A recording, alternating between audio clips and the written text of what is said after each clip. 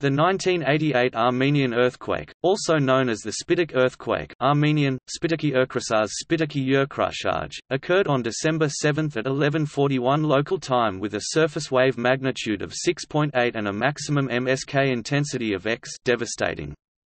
The shock occurred in the northern region of Armenia then part of the Soviet Union which is vulnerable to large and destructive earthquakes and is part of a larger active seismic belt that stretches from the Alps to the Himalayas.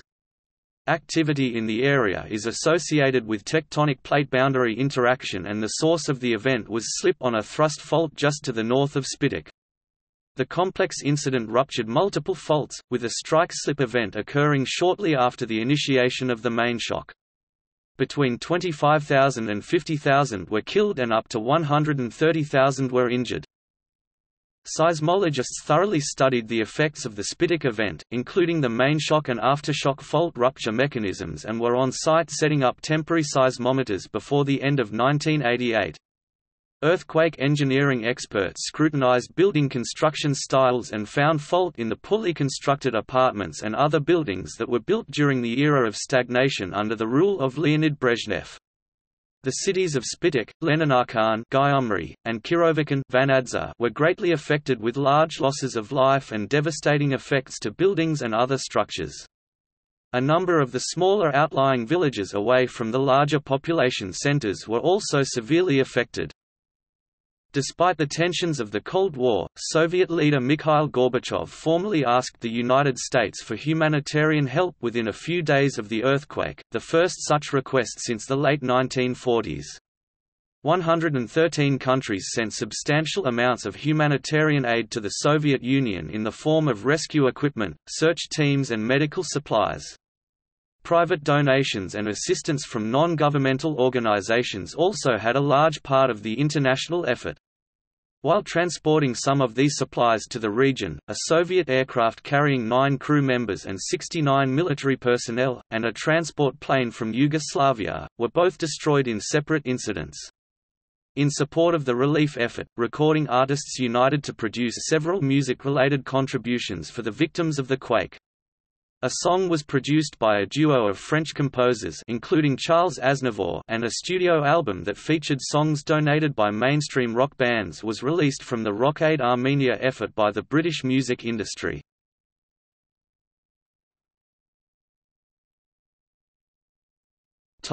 Preface Beginning with late 1987 the Caucasus region was experiencing a surge in political turmoil with large and near-constant demonstrations being held in the capital of Yerevan beginning in February 1988.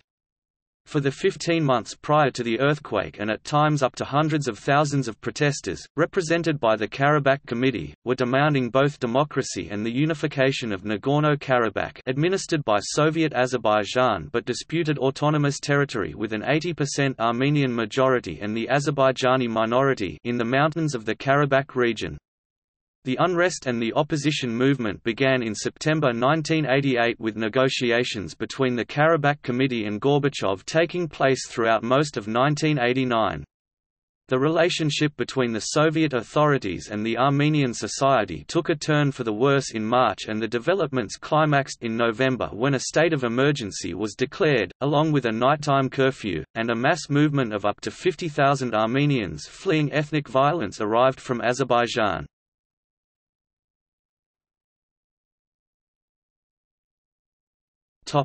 Earthquake The source of the event was a fault rupture 40 kilometers (25 miles) south of the Caucasus Mountains, a mountain range that has been produced by the convergence of the Arabian and the Eurasian tectonic plates.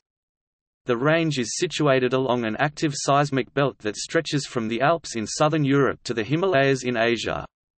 The seismicity along this belt is marked by frequent major earthquakes from the Aegean Sea, through Turkey and Iran, and into Afghanistan.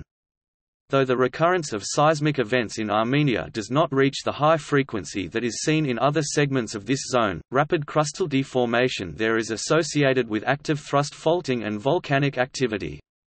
Mount Ararat, a 5,137 meters (16,854 feet) dormant volcano, lies 100 kilometers (62 miles) to the south of the quake's epicenter in Turkey. The earthquake occurred along a known 60 kilometers (37 miles) thrust fault striking parallel to the Caucasus Range and dipping to the north-northeast.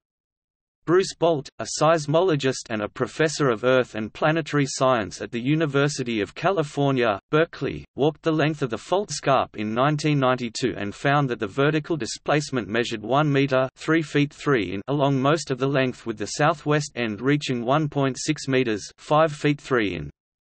During the earthquake, the northeast-facing side of the Spitak section rode up and over the southwest-facing side. Waveform modeling established that the faulting originated at a depth of 5 km (3.1 miles) with the epicenter on the Alivar thrust fault on the slopes of the Lesser Caucasus Mountains north of Mount Aragats.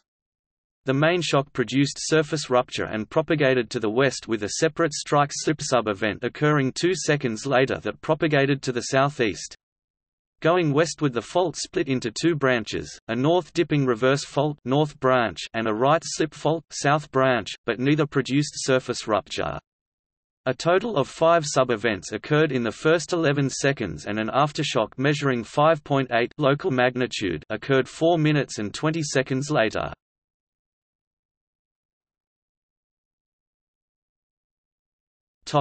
Damage Some of the strongest shaking occurred in industrial areas with chemical and food processing plants, electrical substations, and power plants. The Metsamor nuclear power plant, around 75 kilometers (47 miles) from the epicenter, experienced only minor shaking and no damage occurred there, but was eventually closed for a period of 6 years due to vulnerability concerns.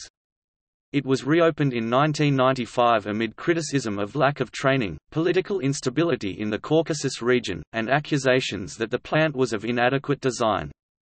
At that time the International Atomic Energy Agency Assistant Director General Morris Rosen said of the situation, You would never build a plant in that area, that's for sure, with what's known now. Many buildings did not hold up to the shaking of the earthquake and those that did collapse often lacked any survival space, but lack of effective medical care and poor planning also contributed to the substantial scope of the disaster. Buildings that didn't collapse featured well-maintained masonry and skeletal components that were joined together adequately in a way that allowed for the building to resist seismic waves. Most bridges and tunnels and other public infrastructure withstood the earthquake but hospitals did not fare well.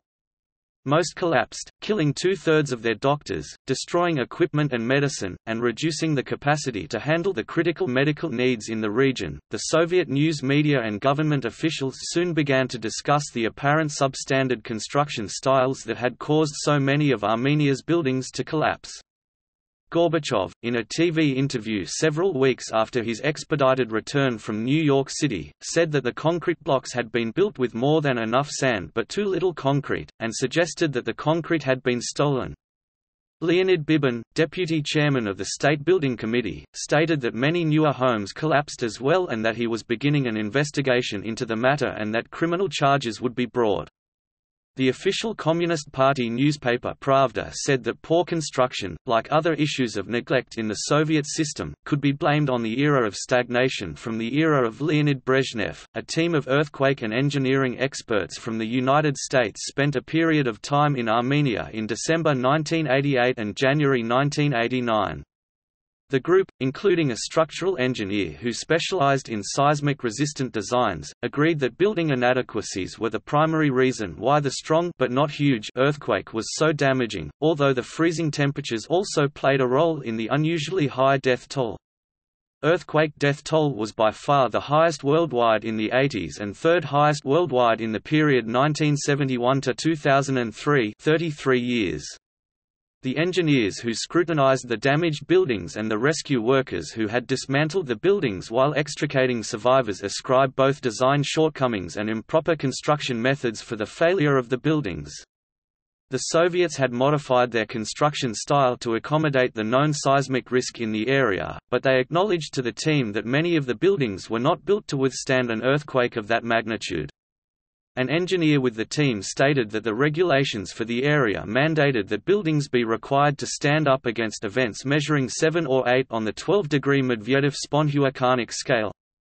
The earthquake's effects were assessed at 10 on that seismic scale. The three cities closest to the fault rupture experienced different levels of damage.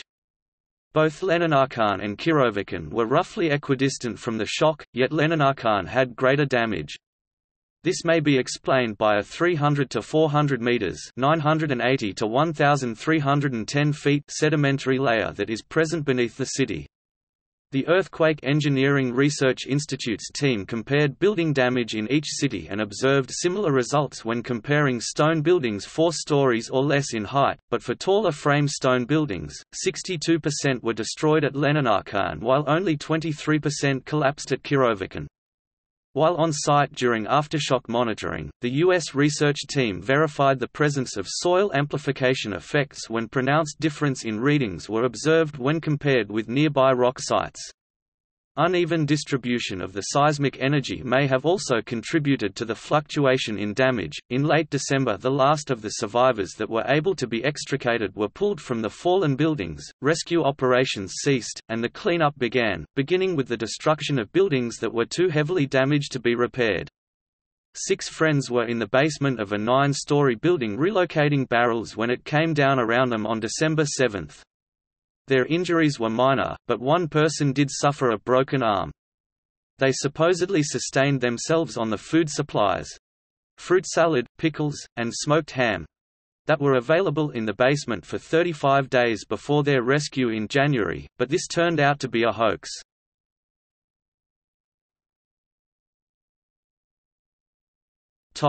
Aftershocks The area where Armenia lies is of interest to seismologists and geologists because of the relatively early stage of continental collision occurring there and because the earthquake's strong aftershock sequence and significant surface faulting presented scientists with an environment to study reverse faulting. Twelve days after the main shock a French-Soviet team installed a temporary seismic network in the epicentral area to record aftershock activity a separate expedition from the United States also visited the site. The initial portion of work included nearly a full week setting up the seismometers and optimizing their operation and, with that complete, two full weeks of continuous operation was then completed with 26 seismometers covering an area over 1,500 square kilometers. The final stage concluded with seven weeks through the end of February 1989 of continued monitoring with a reduced capacity of 20 units. The instrumentation included 10 smoked paper analog seismometers that were configured to allow for 48 hours of continuous single-component data recording. Six digital recorders built by the Institut de Physique du Globe de Strasbourg were also used to record signals from three component seismometers. Eight of the selected sites were equipped with a vertical component velocity transducer along with an FM telemetry link to transfer data back to a central station where a three-component unit was stationed. There the seismic signals were digitized, along with an internal time signal and an external DCF77 time signal, and stored on magnetic tape. The tapes were then played back and the P-wave and S-wave arrival times were used to automatically determine aftershock locations. Approximately 200 aftershocks were recorded each day for the first several days of the expedition and at the end of the recording period in February the equipment was still picking up around 100 shocks per day. The team then set out to determine an accurate velocity model using data from the more accurate telemetry network. The Soviet geophysicists detonated 100 kg of TNT in a hole drilled near the main shock epicenter and the resulting shock waves were detected and used to help pinpoint a more accurate crustal velocity value of 5.3 to 5.4 km per second. The epicenters of the recorded aftershocks formed a relatively narrow 50 km 31 miles band. On the east end the events were shallow while the western side, where the majority of the larger aftershocks were concentrated, the hypocenters were up to 14 km 8.7 miles deep. The shocks at the southeastern segment indicated right lateral strike-slip movement along a nearly vertical fault, and may have been related to the Alivar fault. Moving westward closer to the central segments though, a transition of the fault type was becoming apparent, where an almost equal distribution of reverse fault mechanisms were observed as the strike-slip type. The east-central segment coincided with the surface breaks between Spitak and Ghekezar, while the west-central portion's break was concealed under an anticline and was not visible at the surface. Along the western segments the fault split into two branches with one to the southwest and the other to the northwest.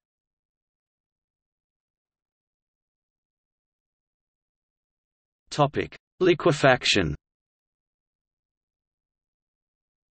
Buildings and other structures were extensively damaged during the earthquake, but roadways and railways also experienced disturbances. Many case histories pertaining to liquefaction in sandy soil exist, but few exist with respect to gravel and gravelly sands. In certain situations gravelly sands may liquefy in similar fashion as saturated sands. The first well-documented case of liquefaction in gravelly sands was in regard to the 1983 Borah Peak earthquake in the United States.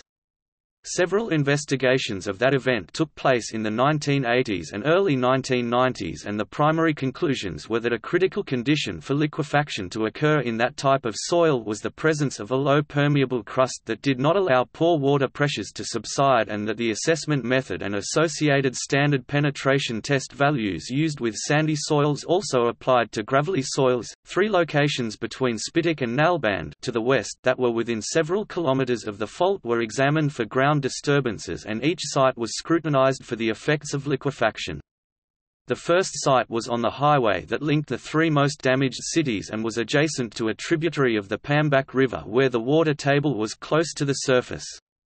The highway's embankment failed, and though the site was repaired immediately, the resulting damage to the highway caused considerable delay in getting people and supplies into and out of the area following the disaster. Numerous sand boils were seen in the region northwest of Spitak including within 15 metres 49 feet of the failed embankment. A second site that was close to the fault, also near the Pambak River and with similar soil deposits, did not experience liquefaction, though it would have experienced the same high peak ground accelerations as the failed highway embankment.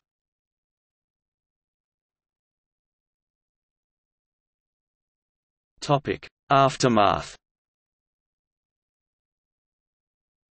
Avant-garde musician Pierre Schaeffer led a 498-member French rescue team to look for survivors in Leninakan, and worked there until all foreign personnel were asked to leave after the plan to bulldoze what was left of the ruins was formulated. The total number of volunteer rescue personnel in Leninakan totaled 2,000, with teams from Austria, Canada, Switzerland, the United States and Yugoslavia.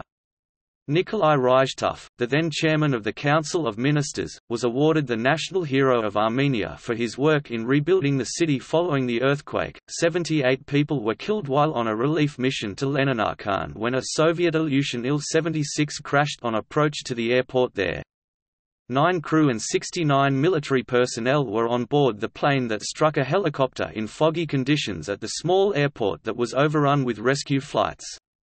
In the days following the earthquake, the normally quiet airstrip was receiving up to 180 flights per day carrying food, medical supplies, and disaster management experts. Those who were killed on the plane were planning to join an estimated 20,000 soldiers and 85,000 civil defense workers in rescue efforts by searching for survivors, supplying food and water, and setting up sanitation facilities in the region. At the Yerevan airport, Western pilots reported a breakdown in air traffic control communications, with flight controllers not delivering the necessary flight navigation instructions, allowing for a critical lack of separation as foreign planes made their way into the area. A second air transport incident occurred the following day at Yerevan, capital of the Armenian Soviet Socialist Republic, when an Antonov An-12 from Yugoslavia crashed, killing all seven crew on board. The crash was blamed on the pilot's failure to properly adjust the altimeter following a miscommunication with the air traffic controllers. A group of French recording artists and actors came together with the French writer and composer Charles Aznavour to record the 1989 song, Pour toi Arménie, for you Armenia. Aznavour, together with Armenian-French composer Georges Garvarentz, formed a foundation called Aznavour for Armenia and composed the song as a call for help for the Armenians. It took six weeks from the creation of the song to completion of the disc and with almost 2 million copies sold, the foundation was able to build 47 schools and three orphanages for the victims of the disaster. Rock Aid Armenia, also known in earlier stages as Live Aid Armenia, was a humanitarian effort by the British music industry to raise money to help those affected by the earthquake. A monument, Armenian Earthquake, expressing the appreciation of the Armenian people for assistance from the U.S. was erected in Washington, D.C. in 1990.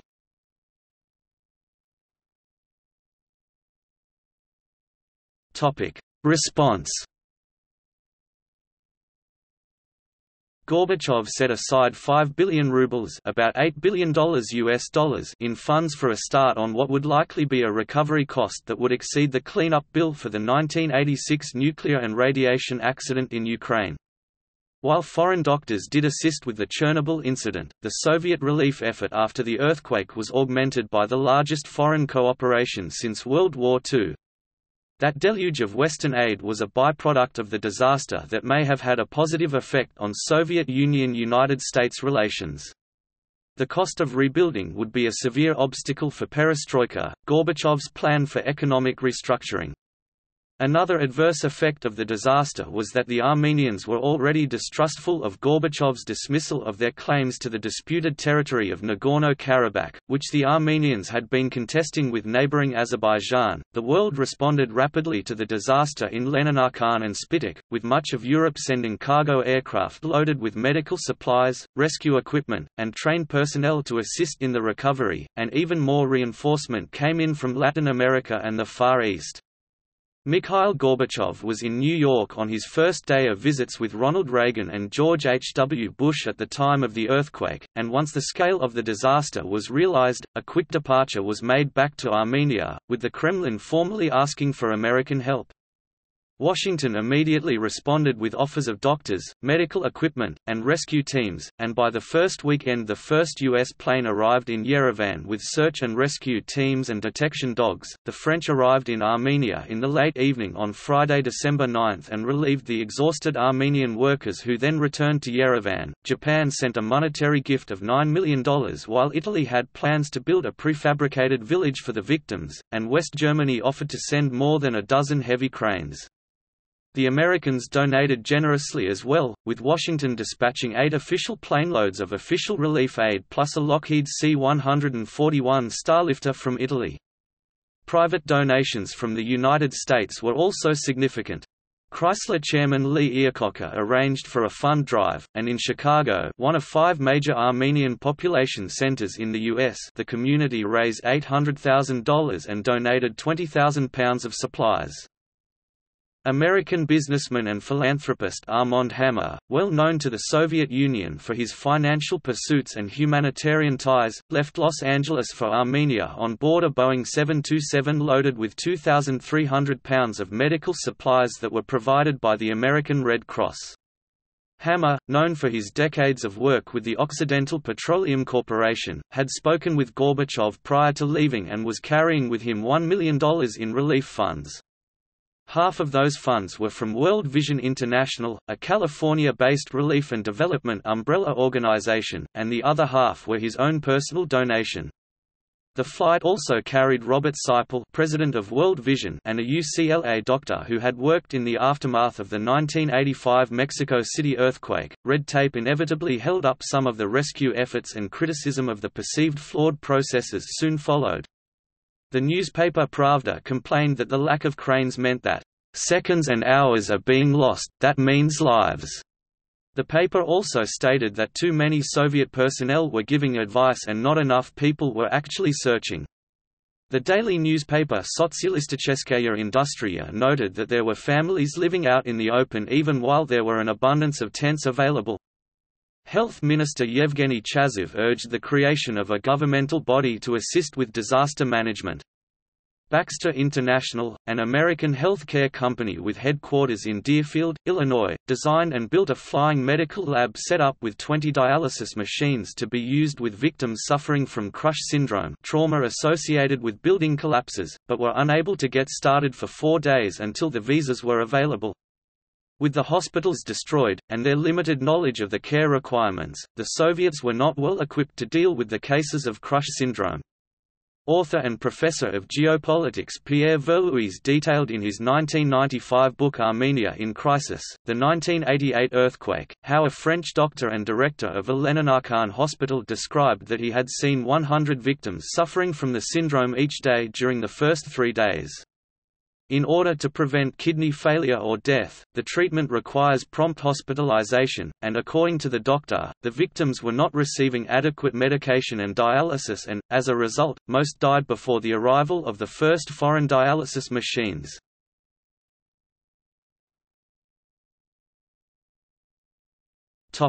Rebuilding In February 1989 100 construction workers were assembling temporary housing for themselves in Leninakan with a plan to start on the local population's housing by the end of the month, though schools and factories were also on the list of facilities to be rebuilt. Deputy chairman of a city building and architecture council said that updated building codes like those in the United States were being drafted along with a strict requirement that the new protocols be respected and that the new buildings would be no taller than four stories and would be located away from areas with the highest seismic risk. Other officials decided that the town would be relocated several miles to the southwest. As of July 1989, about $500 million in donations had been delivered to the Armenians from 113 countries. Most of those funds went into the initial relief work and medical care plus the beginning portion of the rebuilding phase. Yuri S. Matarian, an Armenian State Building Committee official, gave an updated damage report that included some of the outlying communities away from the population centers stating that 342 villages were damaged and another 58 were destroyed. The negative effect the earthquake had on the economy of Armenia was apparent. Matarian said that 130 factories were destroyed and 170,000 people were out of work. Officials acknowledged that the work to complete the rebuilding may take up to five years or longer, a supposition that more than doubled Gorbachev's estimate of two years. At that time 20 projects had completed the planning process and some had been approved and construction started. In Leninakan there was a need for 18 new hospitals, 12 of which could be funded with the assistance of the republics of the Soviet Union, but foreign help would be required to build six additional facilities. Boris Karapetyan, director of earthquake studies at the Yerevan Polytechnical Institute, said of the difficult rebuilding process, "...coordination is a major, major problem. This is a massive undertaking, and foreign involvement is both a necessary and a complicating factor. We need foreign assistance—and there is no doubt about that but our friends do not know the local conditions and propose things that cannot or should not be built in an earthquake-prone region. The Soviets and an American group of architects each devised separate outlines for rebuilding the town of Spitak. Following an invitation by the Soviets for a critique of their plan, the American proposal was ultimately accepted as the way forward. The new plan would deviate from Soviet styles that were found to be rigid and outdated, and would mirror characteristics of the local culture. For many years following World War II the Soviets practiced a methodical top-down approach to urban planning and building, constructing a large number of uniformly built row-style apartment units, and the Soviets' plan for rebuilding Spitak did not diverge from that approach. The Soviets' grid plan road scheme was found to not take into account the hillside at the new city's location, and the American plan included finer details of how commercial centers and government facilities were grouped together in an open and communal style.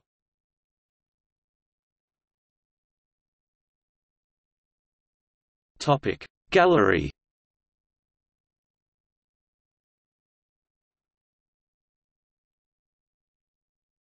Topic other events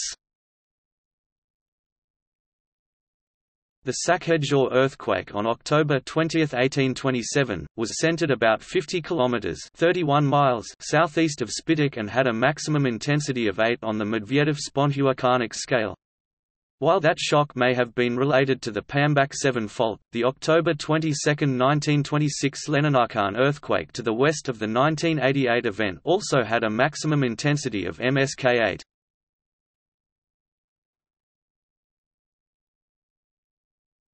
Topic. See also Armenia portal Earthquake 2016 film FEMA Urban Search and Rescue Task Force Geography of Armenia List of earthquakes in Armenia Lord Byron School Gyumri Ministry of Emergency Situations Russia Out of the Ruins Urban Search and Rescue Virginia Task Force 1